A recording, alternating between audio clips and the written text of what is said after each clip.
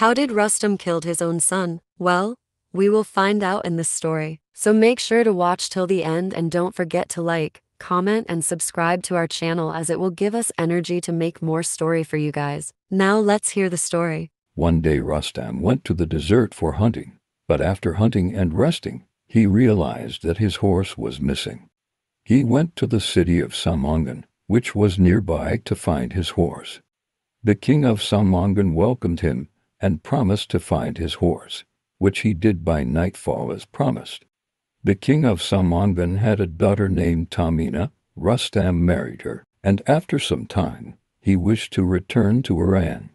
So he gave an armlet to Tamina and said, If you have a daughter, tie this armlet to her hair. But if our child is a son, tie it to his arm so that I can recognize him. Rustam left, and after some time, Tamina gave birth to a son named Sohrab. Years passed, and Sohrab grew up wanting to find his father, Rustam. His mother tied Rustam's armlet to his arm, telling him, This armlet will help you recognize your father. Sohrab marched with a great army towards Iran. At that time, the king of Iran was Kakabas, who sent Rustam to confront Sohrab for battle. Rustam and Sohrab didn't recognize each other on the battlefield and engaged in a long fight. After a lengthy battle, Rustam defeated and killed Sohrab.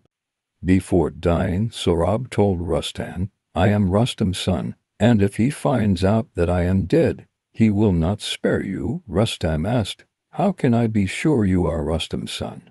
Sohrab showed him the armlet on his arm, and Rustam recognized him. But it was too late for remorse, as Rustam had unknowingly killed his own son. So how was the story, guys? Did you liked it? If yeah, then make sure to subscribe to our channel and comment the next story you want us to make. Thank you all.